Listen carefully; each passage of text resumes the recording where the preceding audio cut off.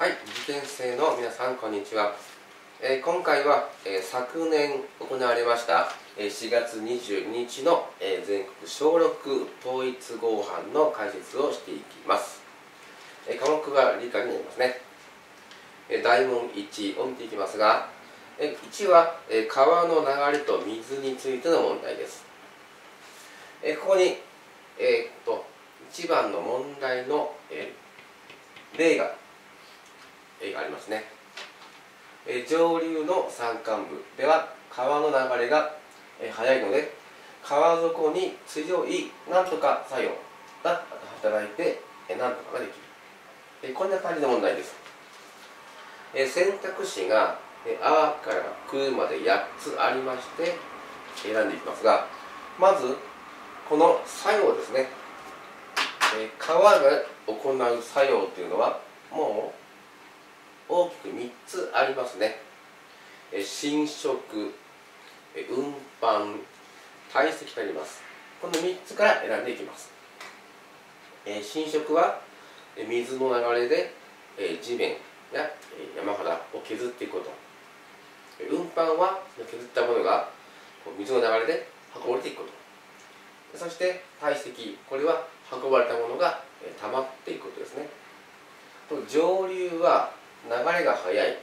川底。この辺のポイントを見ると、えー削られていますね。削っていくので浸食といって、えー選択肢は A が入ります。すると、えーどういったものができるっていうと選択肢は、えー三角数扇状地 U 字国 V 字国でこれは、えー上流では V 字ですね。この山があってこういうふうにここに水が流れるようなこの急ですね。急斜面ができたこの深いような谷ができます、えこれが問題3つあるうちの1個ですね、え同じ問題が、え3つありましてえこの場所変わっていきます。最初は上流。え今度これが、えー山間部から。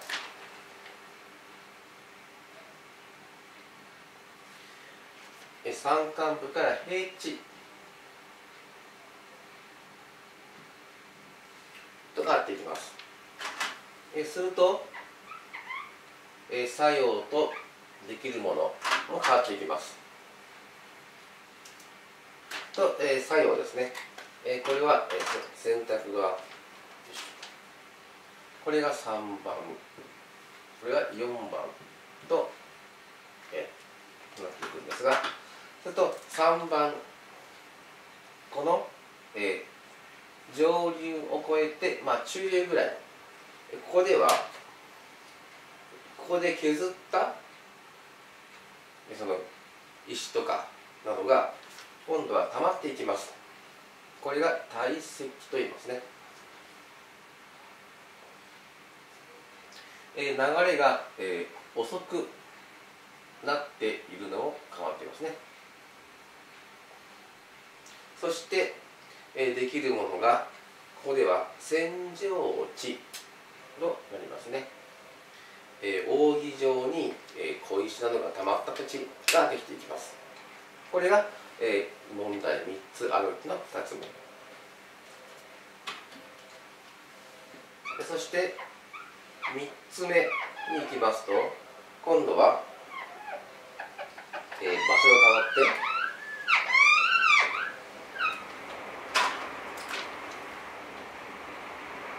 もっと下流に行って河口近くに変わっていきます。ここもやはり川の流れが遅いですね。もっと遅いです。で今度は同じように、えーこれは選択肢一緒ですね。ここでも、えー上から運んでこう転がってきたものが、えー溜まっていきます。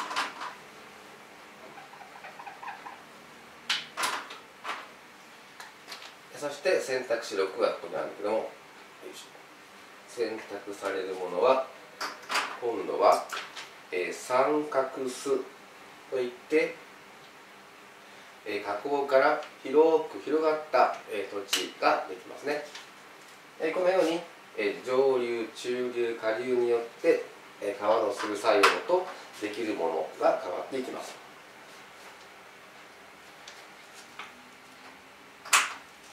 そして、えー、括弧にこれは括弧1が3つですね。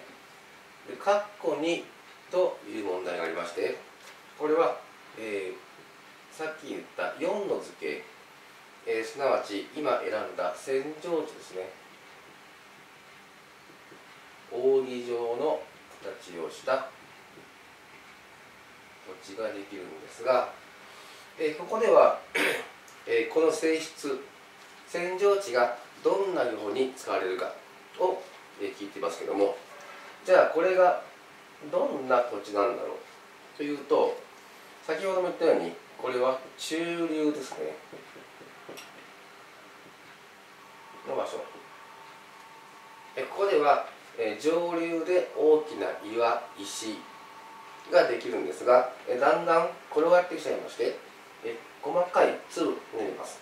まあここは、えー、小石なるですね。えー、粒の割合と小さいものが溜まっていきます。でこれはまあ小石なんで、えー、この選択肢「あいうえ」を見ると水はけが良い水持ちが良いと分かります。とまあ単純に小石。ここに水をまくとスッと水は、まあ、沈むというか下に落ちます。ですから「あい」の水はけが良いが選ばれます。そして右半分ですと水田に利用か果樹園に利用か。というと水田は水を溜めておく必要があります。ですので果樹園ですね。の方が選択肢として正解になりますね。このように何が起こっているかをきちんと把握していくとちゃんと分かっていく問題です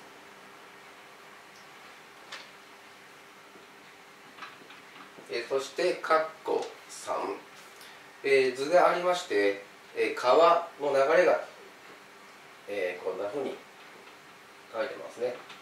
もうこれもかなり有名な図ですね、えしかもここにプツプツっとこう粒が入った様子。ここに瓦がある様子が書いてあります。そしてこっちが上流でこっち下流ですね。上流下流と入っています。そして、えー、もう一つ。XY という線がここにあります。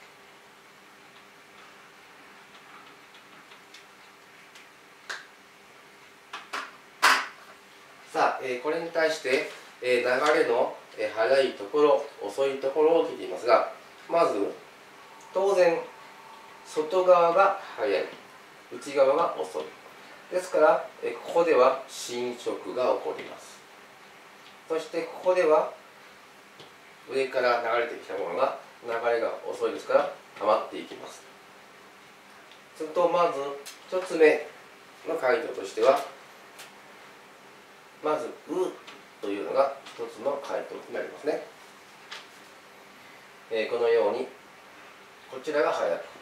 こちらが遅いですね。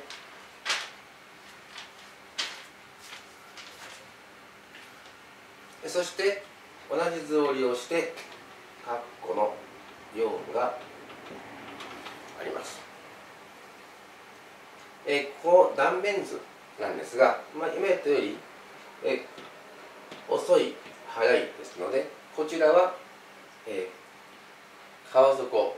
これは削られています。ちょっとこれは、えー、こういう形ですね。こっちが深い。こっちが浅いという。もうこれ選択肢はもう「あ」しかないですよね。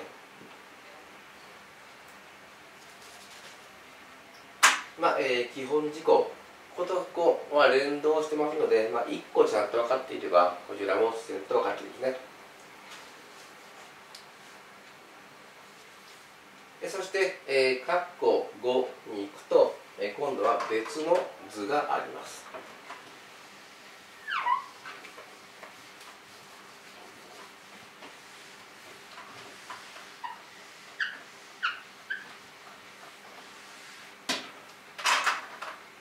えー、図2になるんですけども図の2は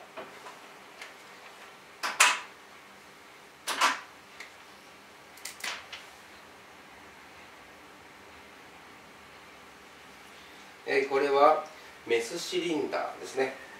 メスシリンダーによく混ぜた、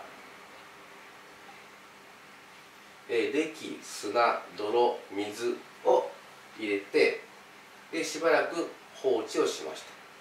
するとどうなるかそしたらこのように何やら層ができました。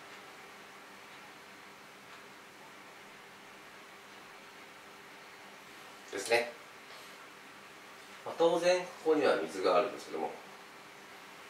さあ問題は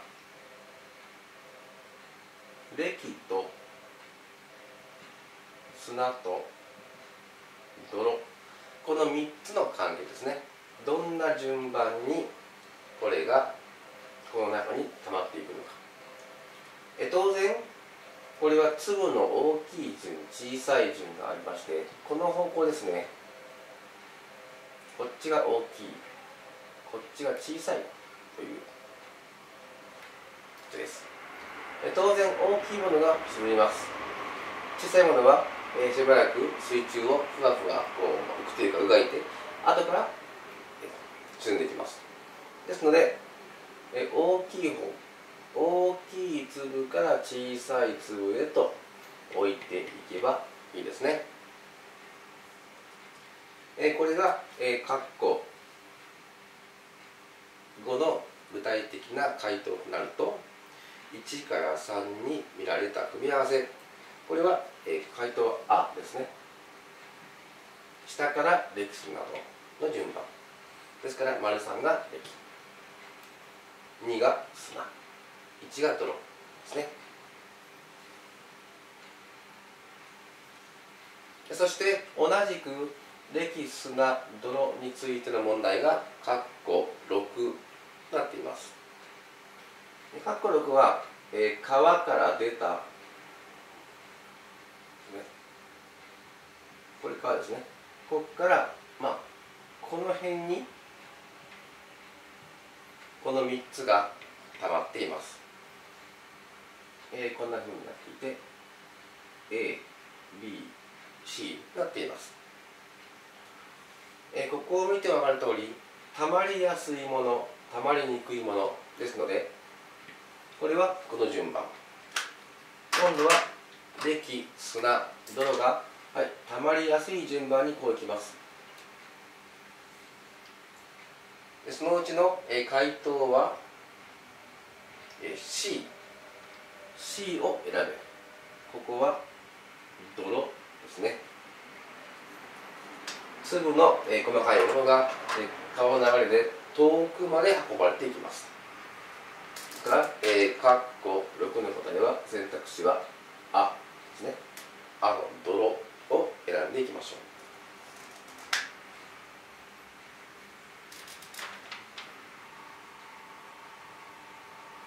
そして、えー、大問1の最後括弧7、えー、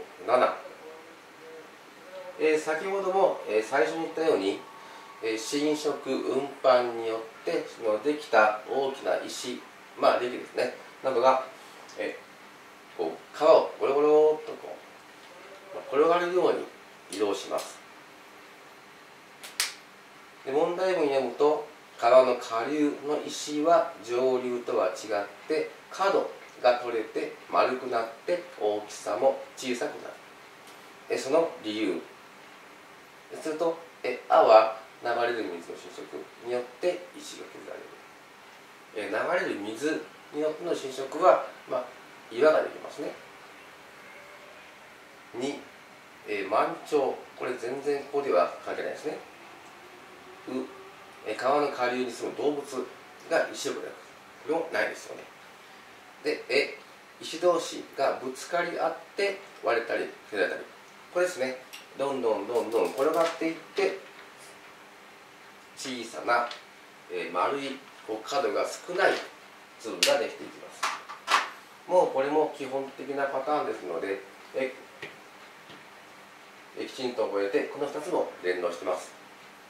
同じ内容を別の方法で聞いていますのでえここはきちんと把握をしておいてください。で一つ、えー、補足をしておきますが、えー、これと、えー、同じような問題で、え角度が違った図がよく出ます、え川がですね今度はこここの方向に断面を取った問題がよくありますね。こう取ってここに水があって、え川から流れます。流れ込んで、えこんなふうにこう溜まっていく図を見たことがあるはずです。当然これと照らし合わせれば分かりますね。このように礫砂泥の順番になるのでこれと同じように覚えておくといいと思います、えー、これが、えー、大門の1番になります。